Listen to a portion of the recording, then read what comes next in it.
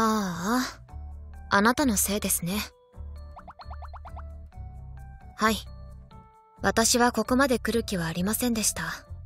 だから、費やした時間も労力も、結果も、すべて、あなたのせい。私のせいってことですか？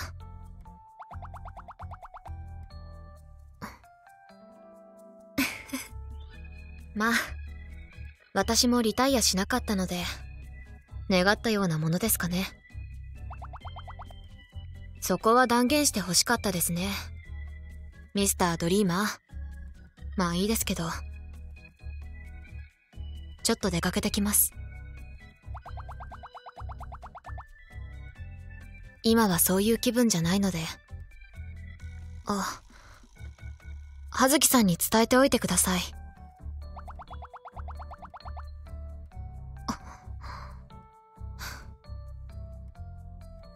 レッスン室の鍵、明日返します。で。